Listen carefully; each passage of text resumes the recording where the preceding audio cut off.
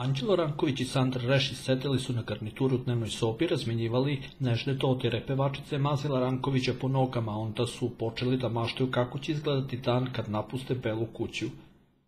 Iako je Sandra njemu jako zamerila odnos sa Dalilom Draković i priznala da je to narušilo njeno poverenje u njega i da je to koči da uđe u vezu, Anđelo ipak ne odustaje i daje sve od sebe da joj dokaže da je on vredan njene ljubavi.